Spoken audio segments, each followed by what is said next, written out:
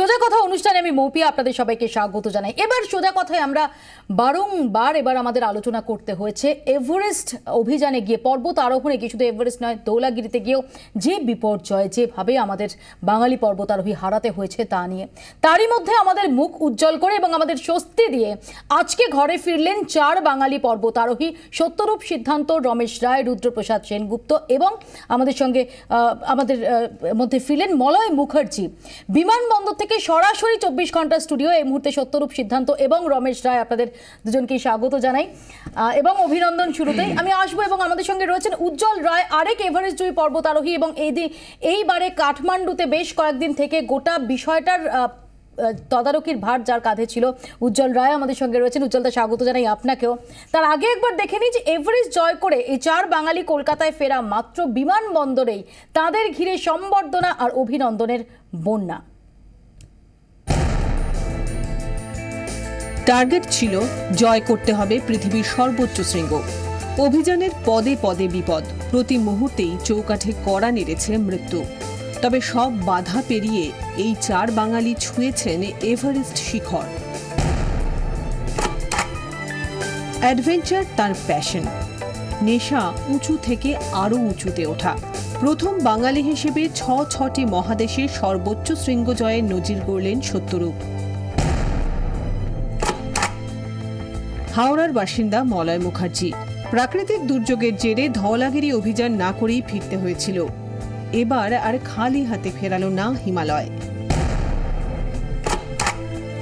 সোনারপুরের বাসিন্দা রুদ্রপ্রসাদ হালদারও এবার পা রেখেছেন পৃথিবীর সর্বোচ্চ শৃঙ্গে।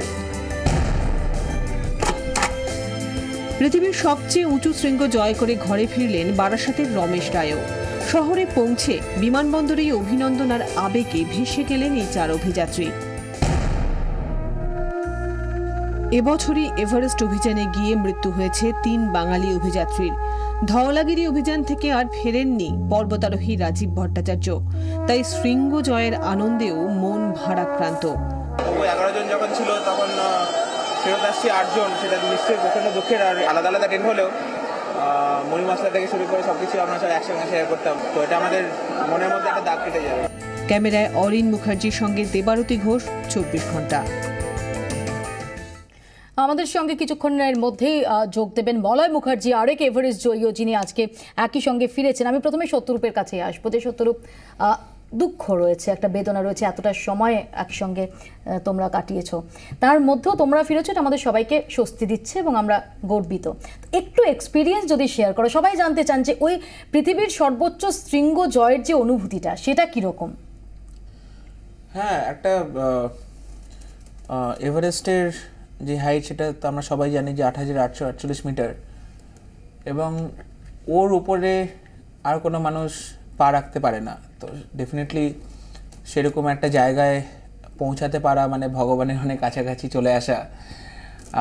এবং ওই সিচুয়েশনে যখন আমরা ভোরের আলোটা ফুটছে আমরা যখন সামিটে পৌঁছালাম তো আমরা মানে বিশ্বাসই করতে পারছিলাম না যে আমরা সামিটে পৌঁছে গেছি।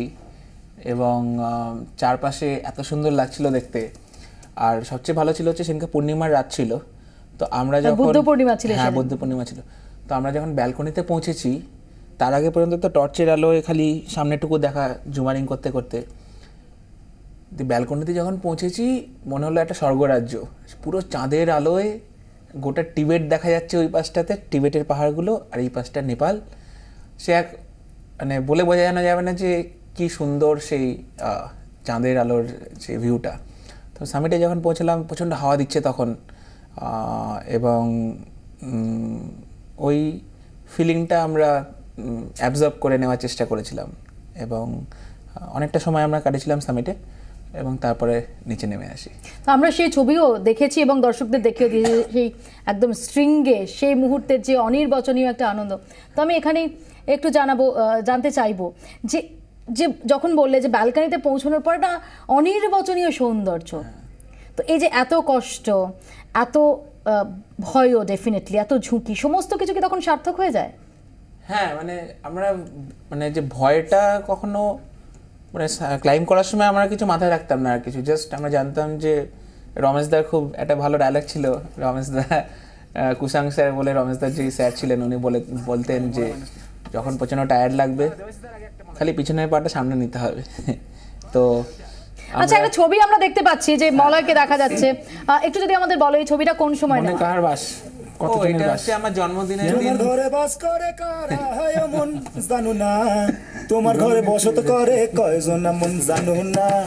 তোমার ঘরে বসত করে কয়জন তোমার ঘরে বাস করে কারা? হায় মন জানো না। তোমার ঘরে বসত করে কয়জন মন জানো না। তোমার ঘরে বসত করে কয়জনা একজনে ছবি আঁকে, এক মনে ও মন। একজনে বসে বসে রং মাখে ও মন। একজনে ছবি আঁকে, এক মনে ও মন। একজনে বসে বসে রং মাখে ও আবার সেই ছবি কান নষ্ট করে।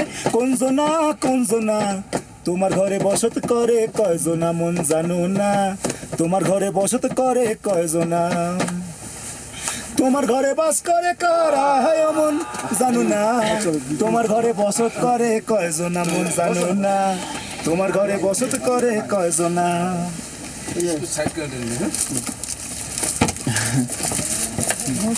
আকাশ কেন ডাকি? এটা খুব তাড়াতাড়ি মেরেছে।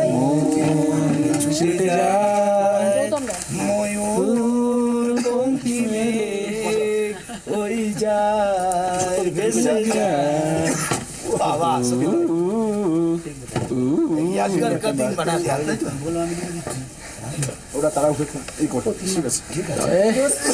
তারিখটা কবে ছিল? উনত্রিশে এপ্রিল। উনত্রিশে এপ্রিল তখনও এই আহ, সঙ্গীদের মধ্যে আজকে বেশ কয়েকজন নেই হ্যাঁ আমরা অ্যাকচুয়ালি ঠিকই করে রেখেছিলাম যে আমরা খুব হেসে খেলে কাটাবো কারণ দু মাস ওরকম একটা অল্টিটিউডে অনেক সময় একটা প্রেশার তো থাকেই এবং প্রচণ্ড ইয়েও লাগে মানে ডিপ্রেশন হাই অল্টিটিউডে হয়। তো আমরা ঠিক করেছিলাম যে আমরা খুব লাইভলি থাকব এবং ওই প্রেশারটা আমাদের উপর যাতে কোনোদিন না আসতে পারে। তো আমরা হেসে খেলে গৌতম দা প্রায়ই আসতো আমরা যেতাম ওদের টেন্টে খুব হাসি খুশি ছিলেন খুব হাসি খুশি।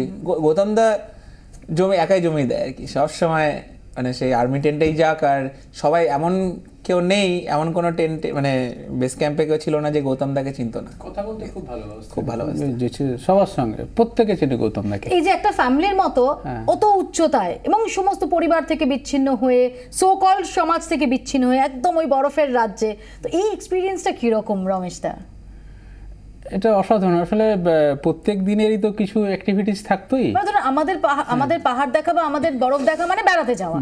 গিয়ে একটু দেখে আসা দূর থেকে। কিন্তু ওই বরফের রাজ্যে থাকা এত দিন জীবনকে বাজি রেখে। আসলে এভারেস্ট বেস ক্যাম্প এটা কি বলব? এটাকে একটা মেলা বা মিলন ক্ষেত্র বা একটা আন্তর্জাতিক মিলন ক্ষেত্র বললেই সব থেকে বোধহয় ভালো হয়।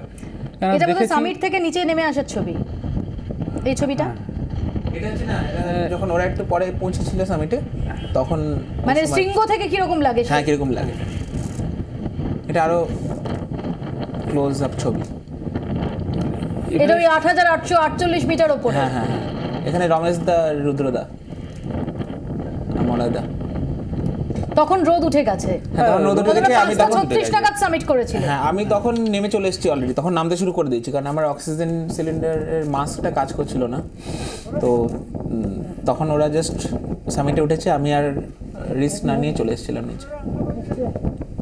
ও তাড়াতাড়ি করে নেমে চলে এসছে। তো রমেশ দা আজকে যখন সমতলে এই স্টুডিওতে বসে আজকে এই সময়টাকে রিভিজিট করছেন এই মুহূর্তটাকে রিভিজিট করছেন? হ্যাঁ মুহূর্ত মানে সেটা তো যে- বলছিলাম গাড়িতে আস্তে আস্তে যে, ওই যে ফাইনাল পুশ যেটাকে বলে, যে ওই পাঁচটা দিনের মানে আমাদের চিন্তা ছিল দাঁতে দাঁত চেপে, কোনো অবস্থাতে হার মানা নয়। কেন তার আগে যা হোমওয়ার্ক করার মানে ওই খুম্বু গ্লেসিয়ার খুম্বু আইস ফলে বারে বারে ওঠানামা এবং ক্যাম্প থ্রি পর্যন্ত আমাদের টাচ করে আসা, যে প্রপার অ্যাক্লামেটাইজেশনটার জন্য যা কিছু করার দরকার, আমরা প্রতিটা পদক্ষেপ আমরা ঠিকঠাক করে মেনে চলেছি। যেমন আমাদের যে শেরপা বন্ধু বিখ্যাত ফ- পেম্বা শেরপা যে গাইড হিসাবে আমাদের ছিলেন আমাদের গার্জিয়ান হিসাবেও ছিলেন মানে যখন বকেছে আমরা বকাও খেয়েছি নির্বিঘ্নে। ওটা কাকে দেখা যাচ্ছে? একটা লাল কেউ একটা উঠে আসছে মানে এটা কি আপনাদের টিমেরই কেউ? না, অন্য কেউ। মানে ওটা হচ্ছে ওঠার পথ মানে সামিটে ওঠার পথটা। আর এটা একদম শৃঙ্গ থেকে ছবিটা। এই সাইডটা হচ্ছে নেপালের সাইড আর একটা যে এখানে ফ্ল্যাগ ফ্ল্যাগগুলো রাখা আছে ওর ওই পাশটা আছে চায়না সাইড ওখান থেকে লোক উঠছিল। নট কল দিয়ে যারা হ্যাঁ, নট কল দিয়ে যারা হচ্ছে উঠছে কি আমি উজ্জ্বলদের কাছেও আসব কারণ এতজন বাঙালি পর্বত আরোহী তারা এভারেস্ট জয় করলেন। আমরা যেটা বারবার বলছি বেদনা তো রয়েছে বিষাদ রয়েছে তার মধ্যেও আনন্দের রসদও রয়েছে।